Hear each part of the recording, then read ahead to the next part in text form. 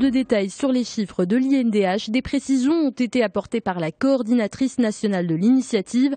Il en ressort un total de 7432 activités génératrices de revenus créées entre 2005 et 2014.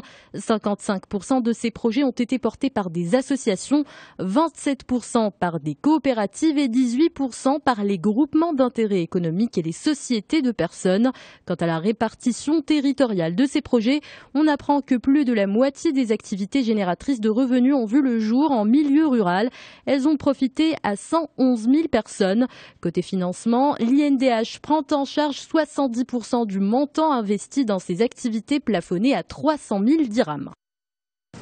Cette année, les Marocains résidant à l'étranger ont été plus nombreux à rentrer au Maroc. Selon le ministère de tutelle, ils étaient plus d'un million 48 000 à passer les frontières jusqu'au 20 juillet.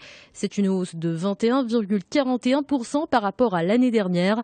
Depuis le lancement de Marhaba 2015, début juin, plus de 140 000 voitures ont fait le long périple jusqu'au Maroc.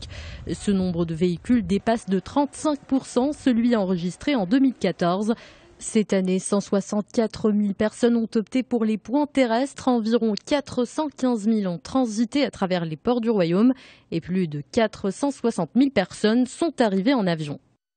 Bouffée d'oxygène pour l'industrie marocaine. La production dans la quasi-totalité des branches s'est bien portée en 2015, à l'exception des industries mécaniques et métallurgiques où l'activité a baissé selon une récente étude de la Banque centrale. Les sous-branches industrie automobile et travail des métaux ont en revanche stagné. Toujours selon Banque El Maghrib, le taux d'utilisation des capacités a grimpé de 3 points de pourcentage à 73%. C'est le résultat de hausses significatives dans les branches chimie et parachimie et industrie agroalimentaire. En juin, les ventes globales se sont également améliorées. Elles ont reflété la progression des ventes destinées au marché local.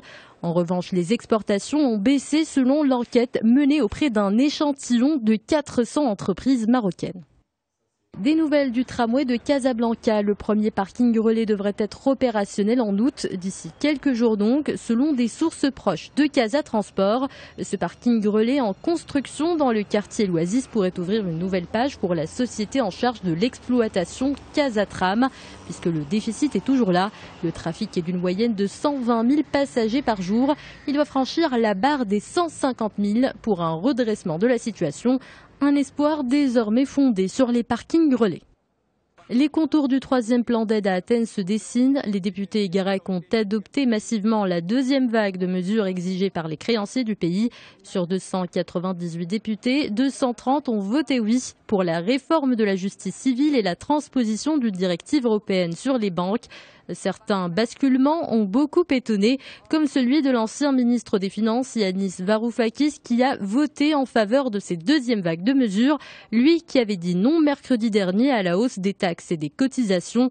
Ce second vote d'urgence ouvre la voie à la finalisation à la mi-août du troisième plan d'urgence d'au moins 80 milliards d'euros sur trois ans.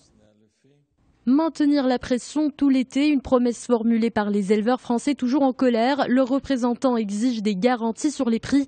Ils jugent insuffisant le plan d'urgence de 600 millions d'euros annoncé par le gouvernement Valls. Ces éleveurs continuent à faire porter la responsabilité de la crise aux acteurs de la grande distribution. Les grands distributeurs ont aussi été interpellés par François Hollande. Il leur a demandé de faire l'effort indispensable pour permettre au prix du lait et de la viande de remonter.